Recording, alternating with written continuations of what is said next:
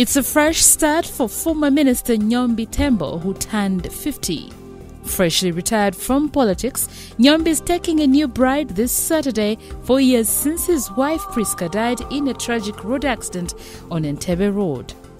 The lovebirds are already officially married, according to the government, having taken their legal vows last Friday in a civil marriage. This weekend, they are going for holy matrimony in an invite only church ceremony.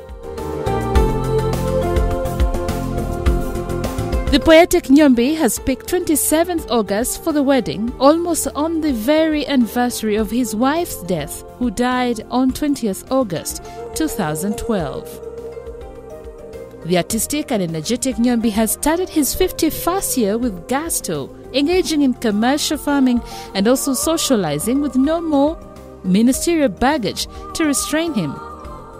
Nyombi is an accomplished vocalist who can fit in with any modern band doing rumba and other African genres. We wish the couple a joyful wedding and happy marriage.